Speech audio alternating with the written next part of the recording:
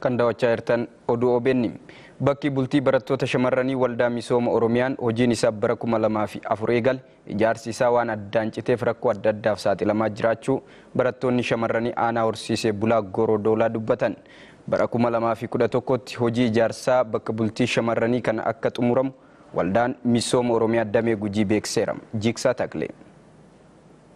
Godina gujii aanaa horsiisee bulaa goorodoolaa magaalaa harqallootti bakki bultii shamarranii waldaa misooma oromiyaan hojiinsaa bara kuma lamaaf afur eegalee fi birriin miliyoona tokko ol baasii kan itti ta'e kaayyoo jedhamee bira osoo hin gahin harka torbaatamarra ga'uun hojiin isaa dhadhaa bidda bu'ee ta'e hafe. Barattoonni shamarranii harka qalleeyyii aanaa kanaas ijaarsi piroojeektii kanaa xumuramuu dhabuun isaarraa kan ka'e kutaa tokko keessa baay'annee waan jiraannuuf barumsa keenya sirnaan hordofuu fi qabxii gaarii galmeessuus hin dandeenye jechuun komatanii. Shamarran barsiisuun hawaasa barsiisuudha akkuma jedhamu sani shamarran osoo barattee maatii isaatu gaddeebisee barsiisuu danda'an ta'eef inni adoonuu xumurame barnoota irratti xiyyeeffannaan nu qabnu ol'aanaa ta'a. Namni tokko eegalta baay'ateen duuba dubbisuu hin danda'amu.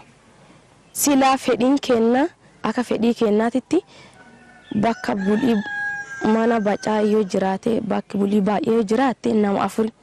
Namni kun karooraan akkana qo'annaa sagantaa baafate amma kana dubbinya yennaa mana barumsaatti galle kana qo'annaa jedhanii sila sagantaa amma immoo sababa baay'inaa irraan takaate alli akka mataa fi yaada obboleettiin tulli akka mataa fi yaaddi namuu akka mataa fi yaada jechuudha sababa kana irraan takaate.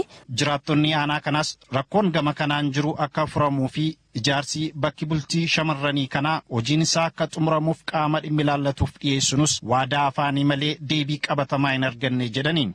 Innaa warra aanaa gaafannu warra Oromiyaati itti bilbilleerraa saganteeffameera hin dhufaa hin hojjetamaadha. Waggaa ja'amuluu hin hojjetamne garuu.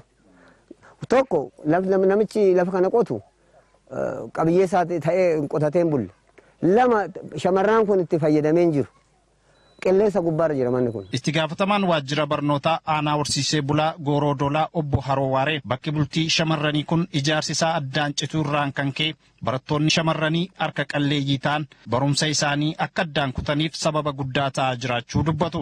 Barattoonni sun naannoo sanii walirra tuulamuun qulqullina barnootaa irratti qo'annaa isaanii irratti qabxii gaarii galmeessuu irratti rakkoo guddaa fida. Nutis kan addaan baanne rakkoo kana qaamota dhimmi ilaaluun dhiyeessine irra waliin madhataa turre. Kontiraaktara maallaqa barbaachisu fudhachuun ijaarsa bakka bultii shamarranii kanaa hojii isaa addaan kutee dhiisee deeme seeratti dhiyeessuuf qooda fudhattoota waliin hojjetamaa jira. Obbo Dullachaa Halakee bulchaa aanaa horsiisee bulaa Gooroodolaati. Addaan kunnee beeksisti baay'eera. Addaan kutame yeroo isa addaan kunnee raawwanneen duubatti namichi himannaan itti baname akka seera dhiyaatu hojjannoo jedhu qaban seera dhiyaatu qabu namni irraa baratuu qaba. Bara kuma lamaaf kudha tokkotti hojiin ijaarsa piroojeektii kanaa akka xumuramuu fi rakkoon gama kanaan barattoota shamarran harka qalleeyyii mudachaa jiru furuuf hirmaannaa uummataan hojiitti galuuf karoorfamuu isaa qindeessaan waldaa misooma oromiyaa damee godina gujii obbo Haayiluu Neenqoo dubbataniiru. Gara fuulduraa jirutti hojiin kun eegata. Isa kana immoo cimnee qaama naannoo san jiruun waliin hojjennee yoo hojjenne keessa bahuu hin dandeenya jedhu itti walii galee.